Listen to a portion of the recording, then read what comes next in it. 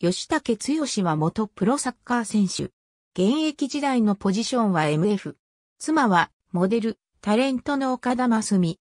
J リーグの横浜 FC、東京ベルディを経て2009年シーズンよりアメリカ合衆国のメジャーリーグサッカーの下部に位置する独立リーグ、ユナイテッドサッカーリーグ、チャールストンバッテリーのトライアウトを経て入団。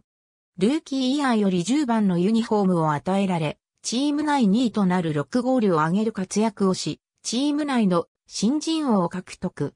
フリーキック、コーナーキックなどすべてのプレースキックも担い、吉武のドリブルは創造性豊かで、1対1で止めることは、ほぼ不可能とチャールストンバッテリーのマイケル・アンハウザー監督に称された。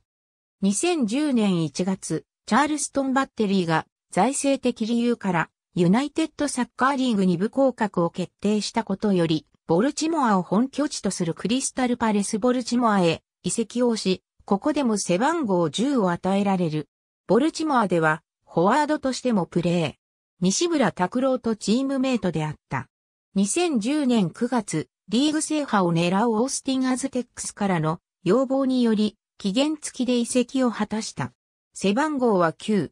2011年シーズンにより山田拓也と同じ FC タンパベイに完全移籍。背番号は10。2012年8月、古巣の横浜 FC が経営権を持つ横浜 FC 香港へ移籍し、首相に就任した。